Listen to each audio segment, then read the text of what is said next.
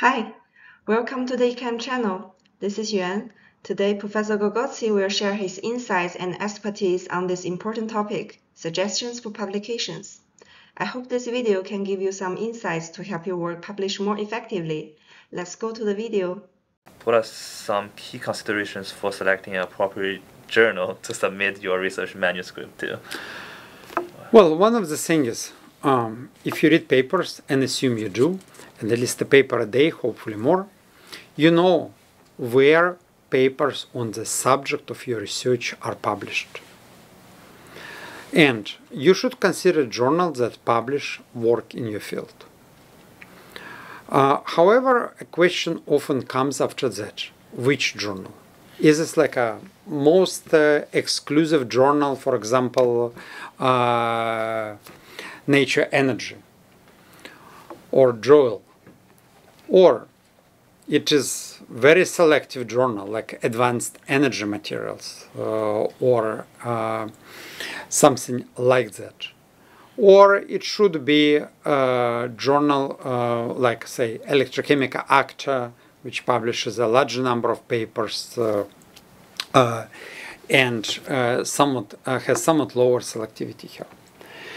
And here I would say it's very difficult probably from a student and a postdoc standpoint decide. Everyone wants to publish in Nature Science, but not every uh, project produces results worth of there. Talk to your advisor, I would say. Your advisor will typically give you an advice where the paper can fit. And of course, try to exercise your judgment.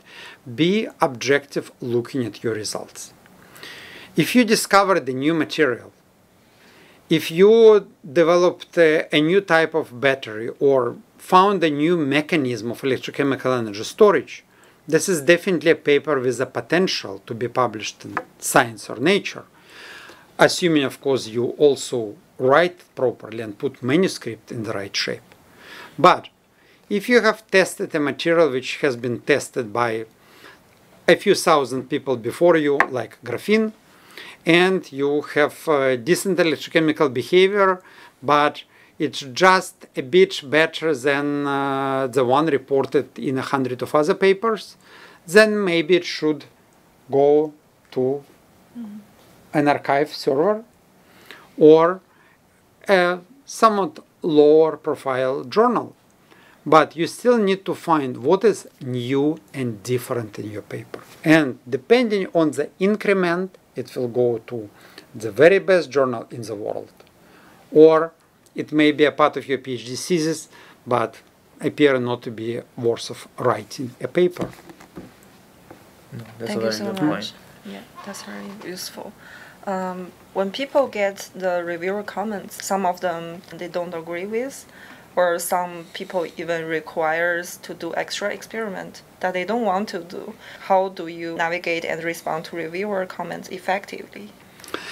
Well, first of all, keep in mind, reviewers are humans like you and me and Yuan and John.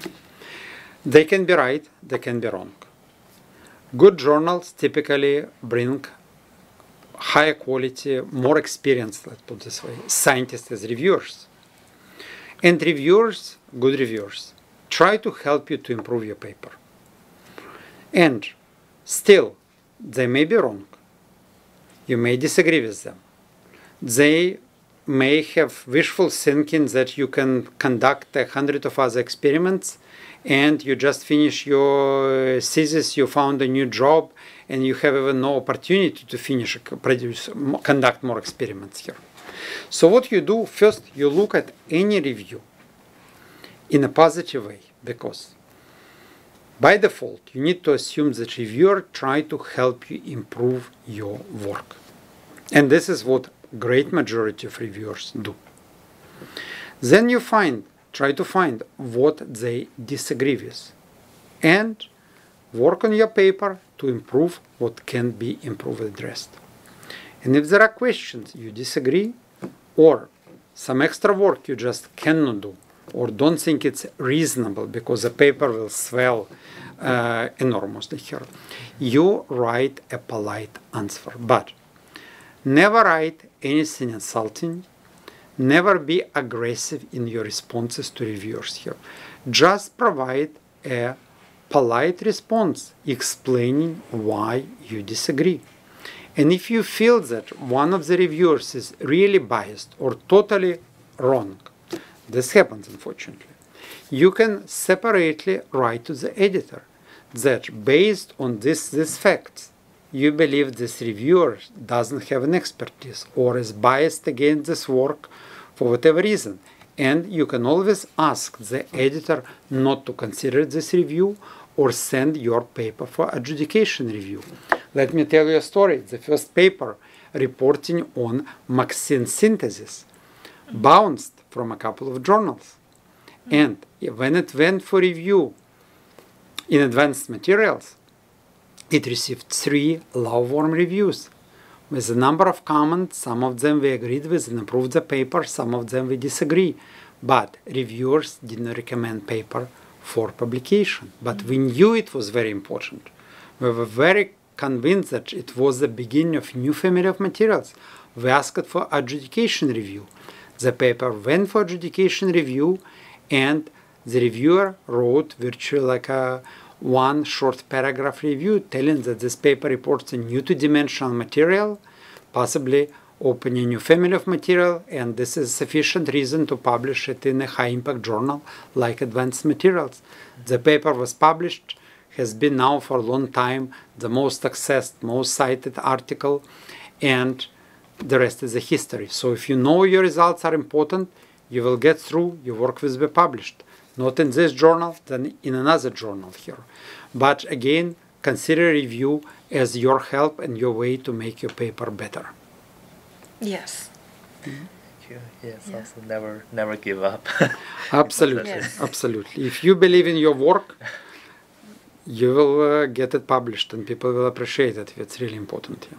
Yeah. Yeah. I think the um, the last two questions we have kind of touched on similar topics is up on the form of publications. Like open access uh, publica- uh, publication is a more popular form now, and there are also like arXiv preprints on the internet or even data papers or people are envisioning I know negative results journals things like that. So. Uh, what's your opinions on these like different forms of publishing? This is actually a question which is very difficult for me to answer in brief. Let me refer you to a recent editorial that I wrote and it got published in a Springer journal, Graphene and 2D Materials. Uh, this article deals exactly with the issue of open access and pay to publish. In brief, in my opinion, the current system is unsustainable and spinning out of control. There are numerous open access journals appearing, emerging. Enormous amount of money goes into paying for publications that should go into research. And while I think sharing information openly is good, it accelerates uh, progress, uh, scientific discovery, when people can get access to publications, they can uh, work faster, more efficiently. On the other hand, why authors should pay for publishing? If someone uh, grows crop uh, corn, you don't expect a farmer to pay to people who consume, who eat corn or beef you expect that consumers pay.